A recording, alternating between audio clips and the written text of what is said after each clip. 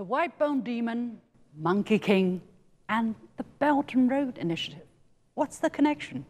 Welcome to this special edition of Headline Buster brought to you by The Point with me, Liu Xin. In this series, I dissect stories that are making headlines around the world and talk to my guests to make up for the missing, some deliberately, pieces of the puzzle.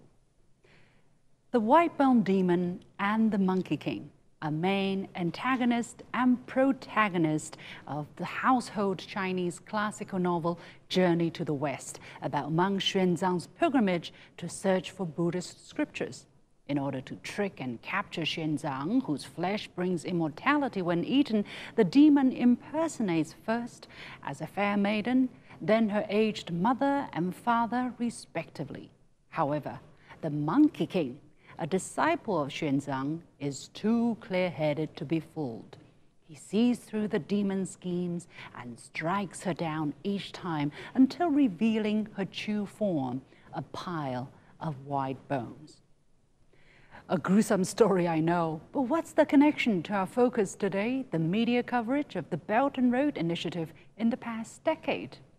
Well, we have browsed about 1,500 stories from mainstream intermedia outlets published since the beginning of last year. And almost everywhere we looked, we saw that this initiative was perceived through a thick geopolitical lens, albeit in very different forms. Hence, I thought of the story of the white demon and the monkey king.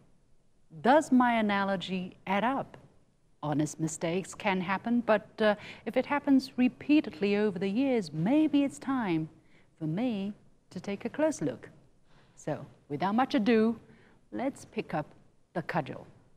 Ha! The first impersonation, the fair maiden, is comparing the BRI to a debt trap, the West's main narrative about the BRI, which appeared in 2017 when an Indian academic coined the phrase before it went viral in the world. A very fair maiden indeed. The idea is that China lends huge loans to poorer countries for infrastructure projects to entrap them, rendering them dependent on China. Here are some examples. The diplomat, China, debt trap. The economist, the perils of China's debt trap diplomacy. The BBC, China is burdening poor countries with unsustainable debt? Personally, I'm wary of this topic as it's an old, tried one. I interviewed the then Sri Lankan ambassador to China as early as 2018 to talk about it. But since so many people still don't get it, I'll be charitable and explain it once again. This Washington Post story published in July 2022, for instance, is titled, China has a hand in Sri Lanka's economic calamity. It says one of the major players in Sri Lanka's calamity is China, and that Sri Lanka walked into what Beijing critics have dubbed China's debt trap diplomacy. But what's the Sri Lankan perspective, if that matters? This is what the former Sri Lankan ambassador told me in 2018. It is up to the government of Sri Lanka to build on the basis of feasibility studies, then to make business decision. Uh, Chinese government never asked to hand over the port to Chinese government or any Chinese venture. Mm. It is proposal came from Sri Lanka asking partnership from China because it's a Chinese money which we have used. Let me repeat. The Chinese government never asked us to hand over the port to China or any Chinese ventures. It's a proposal that came from Sri Lanka. Four years later, his successor, Ambassador Palita Kohona, said this in 2022. We came to China. China did not come to Sri Lanka with a bag full of dollars and say, here's the money, spend it. We came to China. They are finding it difficult pay back loans, but most of these loans are not from China. So, hear him again. We came to China. We were finding it difficult to pay back loans, most of which are not from China. The logic is very simple, according to Ali Sabri, Sri Lankan Minister of Foreign Affairs. No, I don't think so. Uh, what are they going to achieve out of the debt trap? You know, if you put your money into a country for investment, obviously they want returns. So uh, if you want return, you want to see that that country succeeds. So that debt trap narrative looks more like a journalistic booby trap to me, but with a wet fuse. If you scratch beneath the surface, you realize it doesn't hold water. The fact that such a story can sell for so long makes me question the collective IQs of uh, analysts, commentators, and maybe editors as well. Regardless, we'll keep trying and let's delve further. Now, the fair maiden scheme didn't work. Here comes an old woman, the second impersonation of the white-boned demon. The association of the BRI with so-called neo-colonialism. That really takes the biscuit coming from the uh, Western countries. The pot calling the kettle black. but, but let's leave that aside for now. This time, the media read more like an old woman putting on an act. Look what you've done. These countries are now on the brink of bankruptcy and you take advantage of the situation to plunder their resources. Well, I have to remind people that the BRI is not the first and only handle with which some associate China of neo-colonialism. When China steps up its engagement with African countries, goodness gracious me, it's neo-colonialism. China and Africa, win-win development, or a neo-colonialism. When China invests in Latin America, here we go again, neo-colonialism. Is China the world's new colonial power?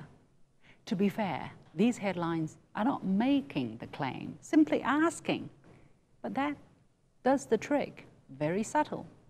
Should I try that too? And when China's cooperating with its neighbors in Asia, one more time, neo-colonialism. Mahathir, China, and neo-colonialism. This one is also very clever. It doesn't make a claim, nor does it ask a question. It just puts China and neo-colonialism next to each other, and that does the job on your mind. Speaking of the art of writing headlines. And I just mentioned Sri Lanka. Well, of course, new colonialism. Can the reports back up these claims, explicit or hidden? Let's dissect one for example.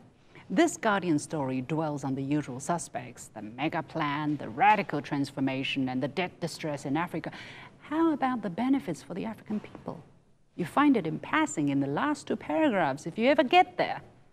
Also, a McKinsey survey revealed that Chinese firms in Africa have recruited 89% of their employees locally. That's a lot of food for thought. How much mention does such numbers get? Let me be fair the international media do report on the other side of the argument. The Nikkei did an interview with Ugandan President uh, Yoweri Museveni in 2022. He was quoted as saying, Africa has been having debt problems for at least the last 600 years due to the slave trade, colonialism, neo-colonialism, and none of it was from China. China supported Africans' fight against colonialism before starting economic activity on the continent at least some balance. But it's like a needle in a haystack. You'll be hard pressed to find such comments in the beginning of any article, let alone the headline, where most people probably stop at. So, debt trap, neo-colonialism, what other laurel has been passed out upon the BRI? Let's go back to the white-bone demon. Her plan has been thwarted twice, and she tries even harder, this time impersonating as an elderly man, looking for his wife and daughter. What happened to my poor daughter and her mother? He sheds some fake tears. Likewise, after the debt trap and neo-colonialism accusations, some in the media crank it up to 11. That's the hegemonic ambition wild card, kind of last-ditch attempt to throw mud at the BRI. There's been no shortage of that. China wants an alternative world order. China is ready to take over the world. China is testing the West. And they come from media powerhouses like the FT, the diplomat, and the economist. And the list goes on.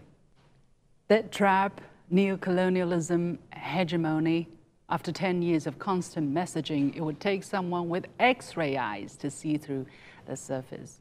Mang Xuanzang was definitely kind and gullible. He insisted that the fair maiden and her poor parents were real human beings instead of a demon in disguise, jeopardizing his own life and his mission.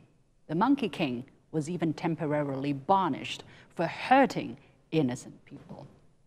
But some may ask, Xin, are you cherry picking your samples among the thousands of stories on the BRI over the last 10 years? Okay, here's how we did it. We searched the keywords of belt and road from 14 mainstream international publications in the United States and in the UK since the beginning of last year till September of this year. And we did an analysis of all of these stories, including the headlines and the bodies of the article. Here's what we found. Now, first, the word cloud of the main words, of the most frequently used words in the headlines. Understandably, China related words rank high, but also words such as the United States, Russia, and Ukraine, ranking much higher than words such as trade, economic, and cooperation. Clearly, the BRI is seen through the prism of China US competition. This is the word cloud of the most frequently used words in the bodies of these articles. Again, the United States ranks particularly high, even higher than Beijing. Russia is mentioned as much as Beijing, and together, words related to geopolitics largely outshine development, trade, people, you know, words that matter to developing countries. In conclusion, these uh, 1,500 stories perceive the BRI almost entirely through a geopolitical prism. They perceive it as an arena for major country competition. Few reports focus on the local impacts on ordinary people's livelihood, economic development, or technology transfers. 10 years on, against the negative narrative, the BRI has brought concrete changes on the ground. Like it or not, the World Bank estimates BRI will help increase the GDP of East Asian and Pacific developing countries by 2.6 to 3.9 percent on average. According to London-based Consultants Center for Economics and Business Research, BRI is likely to increase the world GDP by $7 trillion per year by 2040. Now we're talking. Geopolitics matter, development matters more. It's been 10 years since China's Belt and Road Initiative was first proposed. As the country's signature initiative, we can trust it to the international mainstream media that they will continue to scrutinize it. The novel Journey to the West is a constant reminder that the white-boned demon may be lurking in the shadows. But hopefully, as the story goes, these controversies will eventually end up just like her, a pile of white bones bleaching in the sun. We'll take a short break and uh, we'll be back right after that to discuss some of the unanswered questions on this topic. Stay with us. Making sense of the overwhelming wave of information means cutting through the noise to shine a light on the heart of the story and making room for new perspectives. True understanding means the ability to see events from more than one side. I'm Liu Xin, and this is The Point. Welcome back to this special edition of uh, Headline Buster with uh, me, Liu Xin, coming to you from Beijing. And we have been talking about the connection between the Belt and Road Initiative and the Monkey King and the White Bone Demon. I hope you got the story. But anyway, to help you unpack exactly why the BRI has made a difference and uh, what kind of difference going, continue going to make around the world. I have four guests from around the world to join me for panel discussion. They are Mr. Zhang Jianyu, Executive Director of the BRI Green Development Institute, joining me from Beijing. I have uh, Yasiru Rana Raja, Founding Director of the Belt and Road Initiative Sri Lanka or Brussels. He's also joining us from Beijing. We have Charles Okechukwu Onunaiju, Director of the Center for China Studies of Nigeria. He's joining us very early in the morning from Abuja, the capital of Nigeria. Last but not least, we have Hussein Askary, Vice President of the Belt and Road Institute in Sweden, who is also strategic analyst of the Schiller Institute, and he's joining us from Shanghai. Gentlemen, welcome to Headline Buster. Let me go to Mr. Zhang Jianyu first.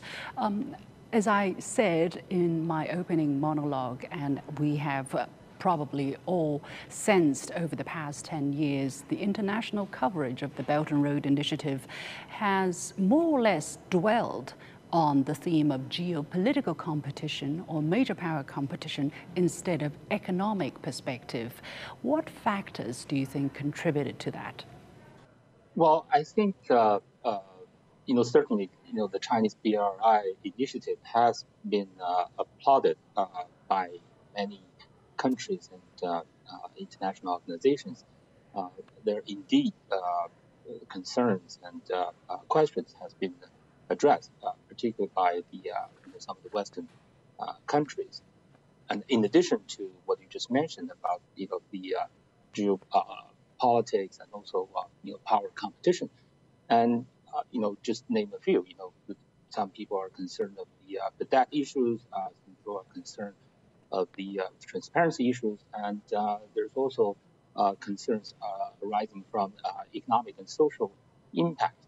And I think it was mostly, in my view, it's driven really uh, from uh, you know three uh, sort of views that reside with the with the Western world. The first one is really ignorance and, and prejudice, because you know when they uh, first encounter BRI, you know they immediately look at within their own lenses and they compare uh, you know, their own Marshall Plan of you know, plundering interests from right. developing countries, and they immediately think you know, China is doing, is sim- doing similar things.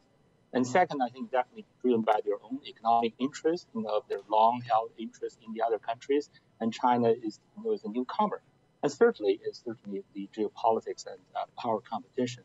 But I, I, really want to say that I, I think you know, China is not afraid of its concerns or, or, or questions.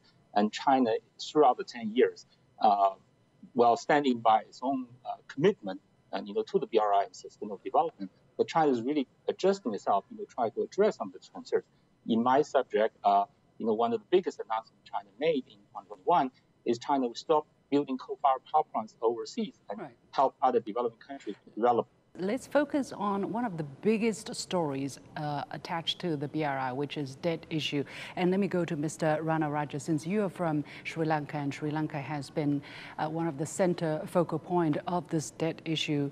Um, I understand Sri Lanka has recently made the headline following its debt restructuring plan. At a regular press conference on October the 10th, China's foreign ministry spokesperson Wang Wenbin said that China engaged in active bilateral consultations and provided a financing support document to Sri Lanka in a timely manner to help it obtain loans from the IMF in late September as official creditor the Export Import Bank of China tentatively agreed with Sri Lanka on the debt treatment.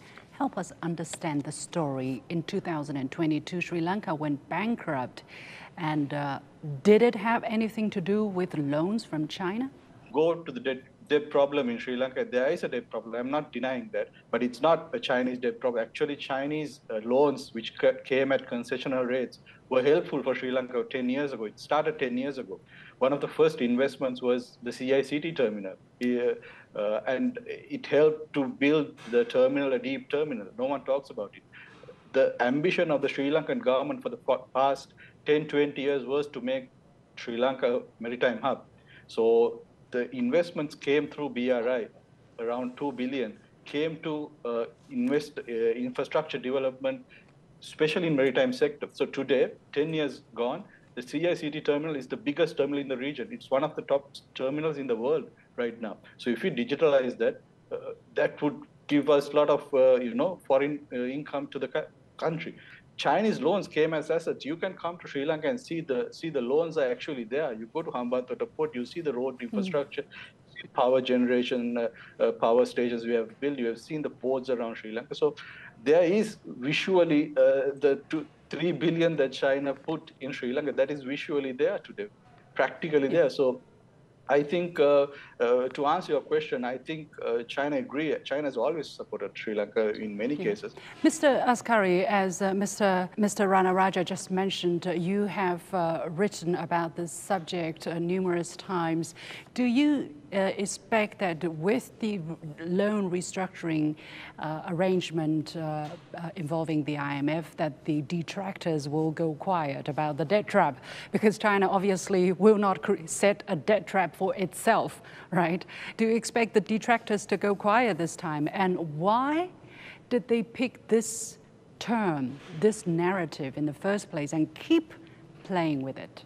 There are two, three problems. First, what is the cause of the financial distress of those countries? Mm. And it has nothing to do with China. Number two, what is China's share of the loans to those countries? Like in the case of Sri Lanka, it's 10%. 90% of Sri Lanka's debt belongs mostly to private financial corporations who make money by loaning money, uh, high interest rates, short term to countries who are in trouble.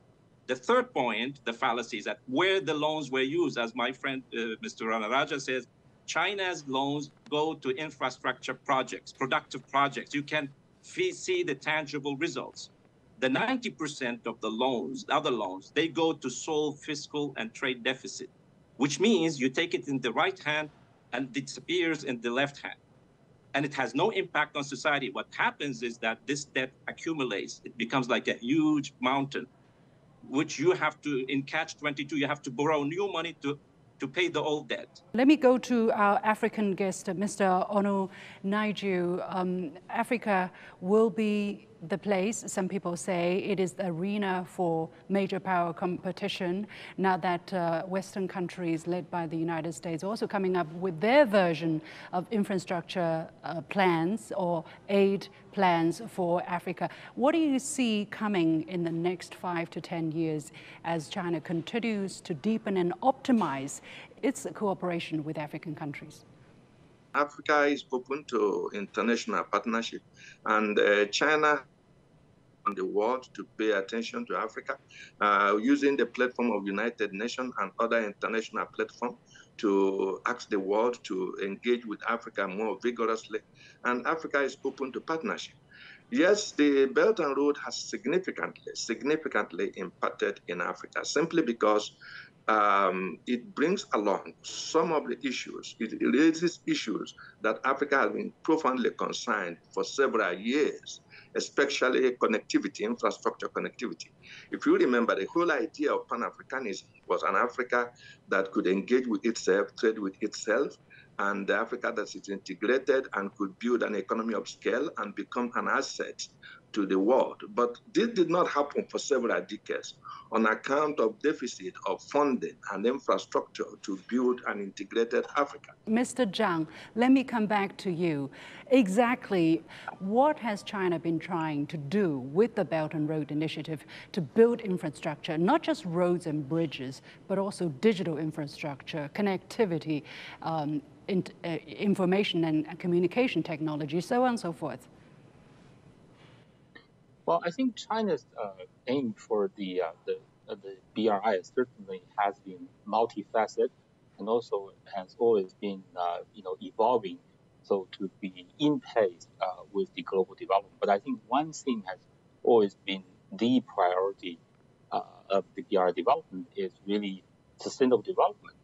you know, as a global community, we have committed ourselves to achieve the 17 SDG goals by 2030 and uh, by the most recent uh, UN report, we're only about 20% through with all of those goals. And that's really a uh, worrisome uh, scenario. And I think China really wants to step up uh, with its own very unique strengths and efforts uh, and also approach to really contribute uh, into right, that. Right. Mr. Um, Ranaraja, let me get to you. Of course, as you said, uh, the Belt and Road has benefited countries uh, along uh, some of the ancient Silk Road uh, routes. Now, looking ahead, how do you think this initiative can even better serve the needs of countries that are needing development. What do you think can be taken away from the past decade to be brought in the next decade so that it becomes more sustainable, it makes better economic sense for both China and the countries that are involved?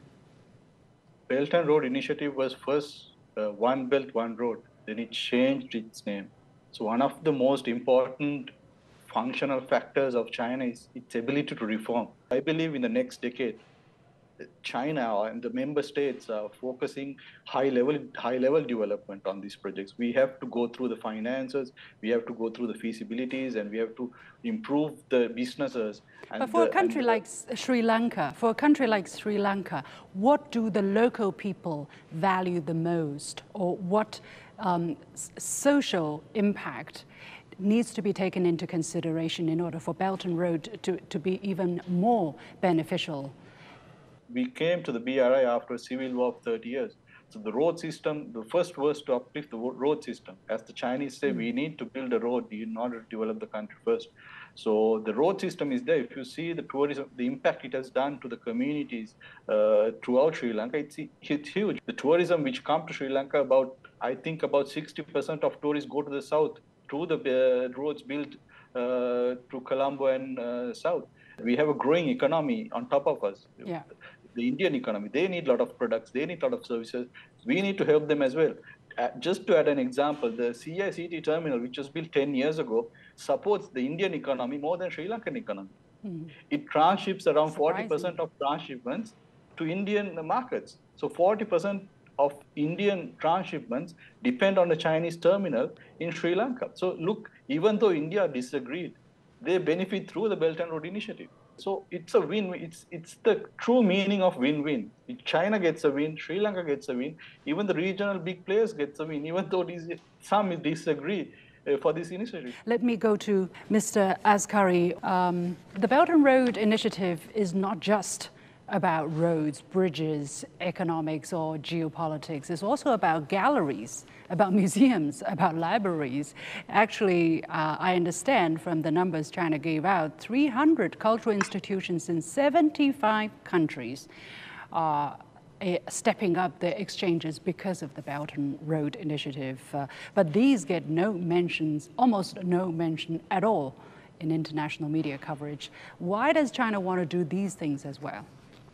I think the people-to-people and cultural exchange is one of the five pillars of the Belt and Road Initiative. It's at the bottom of the five in the list, but it's very, very important because that's what can help us ease the tension we have in the world. We have the world going into a very, very dangerous period, and what can both remove all the misunderstandings and all, all the lies is that when people meet each other, when people from cultural, from uh, media, when the students can meet uh, together. These things are very, very crucial to bring understanding among peoples and nations. We have to leave it there because of time constraints. Many thanks to Zhang Jianyu, Executive Director of the BRI Green Development Institute, Mr. Uh, Yasiru Ranaraja, Founding Director of the Belt and Road Initiative Sri Lanka, Charles Okechukwu Naiju, Director of the Center for China Studies of Nigeria, and Hussein Askary, Vice President of the Belt and Road Institute in Sweden, also strategic analyst of the Schiller Institute. And with that, we come to the end of this special edition of the Headline Buster brought to you by me, Liu Xin, on behalf of the whole team. Thank you very much for joining us, and many thanks to the viewers who send us your questions or comments. We'll see you next time on The Point with Liu Xin.